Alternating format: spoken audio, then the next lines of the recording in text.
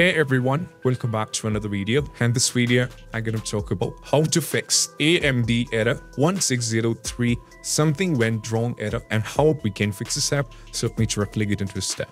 So the first one is all about, we just need to go over here in the CMD. So right now over here, as you can see, one uh, command is already running. So I close the CMD. So just go over here to the CMD, search for the CMD, and once again go for run as administrator and go for yes.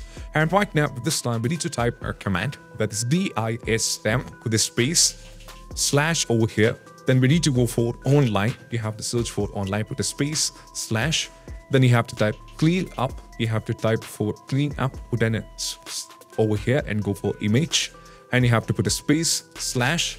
Then you have to go for restore health. You have to go for restore height Then you have to just freeze and enter, just put an enter. So this is going to take a little bit of time. So once it's successfully done, so you have to do is you just need to run this and afterwards you have to check. And that's what you have to try as the first step. Next one is all about, we just need to go over here, search for the settings and you have to click on the settings. And right now, for here, what we need to do is we just need to go over here in the settings, go to apps, navigate to the installer apps and right now, Frimkin, we have to search for C++. We have to search here at the top. We need to search for C++. And over here, if you find the C++, the first and foremost step, we have to select this one and click on the modified. Somewhere else you'll be find the options as modified. So you have to scroll down, click on the modified. So just go for yes, and you have to check. If that is the case, you'll be getting the repair option. Just repair it. You can just repair it and you have to check, is going to take a little bit of time. And afterwards, you have to check this all you have to do. Even after trying with the still, if you're having the trouble, just close everything over here and select Google Chrome.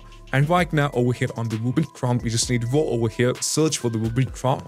And right now we need to go over here and we need to search one thing that's called over here called AMD Auto Detect Driver. So just go over search for AMD Auto Detect. Just go over here and you have to search this.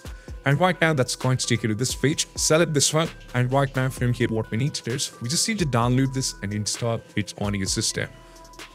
So just go to this particular page over here now we need to scroll down and just click over here AMD drivers and support. So just go okay, that's going to take you to this. And right now auto detect and install driver updates with AMD Radeon series and the graphics. So just go over here, select this one and click on the driver. So it is going to take a little bit of time because it's going to get downloaded as you can see. So once it's successfully downloaded, we need to install it and afterwards, most probably you'll not be having the trouble with this. So that's what you have to try and I hope this video is helpful. That's it. Bye bye.